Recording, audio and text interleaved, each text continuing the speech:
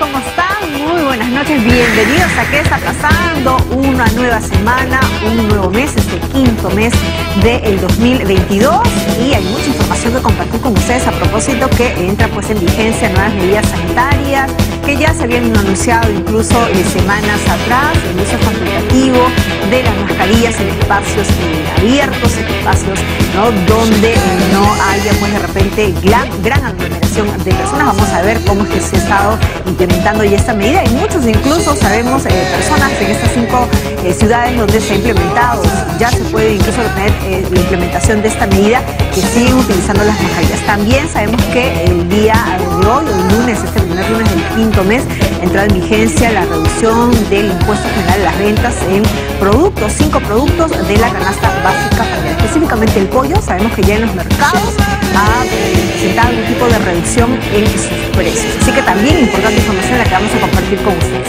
Vamos a ver qué les parece rápidamente qué está pasando. Una Rategui por traernos detalles de esta información. Nosotros vamos a estar al tanto de cómo eh, precisamente pues, procede estas denuncias. Imaginemos que de oficio se van a colocar por parte de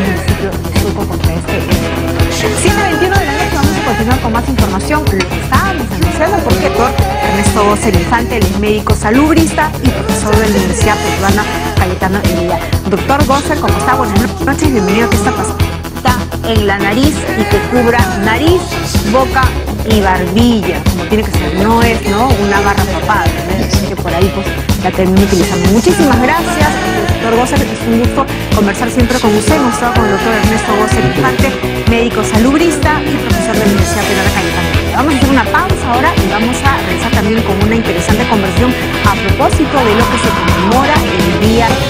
Regresamos con el anunciado. Hoy se conmemora el Día Internacional de la Lucha contra el Bullying o el Acoso Escolar. La semana pasada le presentábamos los verdaderos cracks son los que defienden y no los que atacan. Esas imágenes bastante duras, ¿no? Yo creo que usted también se ha sentido identificado. Todos hemos sufrido algún tipo de acoso en el colegio.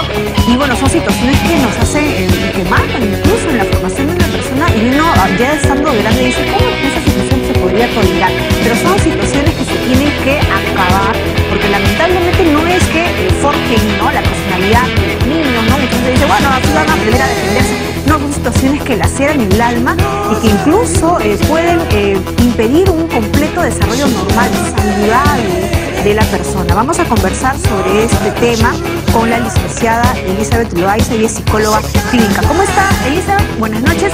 Bienvenida. ¿Qué está pasando? Qué importante lo que usted ha señalado, ¿no? Normalizar y aprender a denunciar esta cultura del reclamo que hay que tener desde pequeños para que también se visibilice la otra parte ¿no? del conflicto, de este problema, que es el agresor, ¿no? Aquel niño de repente que está violentando emocional, al igual que la persona que está siendo víctima. Muchísimas gracias a Elizabeth Loaiza, psicóloga clínica, a del Día Internacional de la Lucha contra el 7.47 de la noche hacemos una pausa y vamos a ver para contarles qué está pasando en el mundo, específicamente en los Estados Unidos, en eh, la ciudad de Kansas, donde sabe. Rapidísimo, vamos a ver qué está pasando en el mundo. Momento de hacer una nueva pausa y regresamos para contarles qué está pasando en las redes, qué está pasando con más. Vamos rápidamente a ver está pasando en las redes.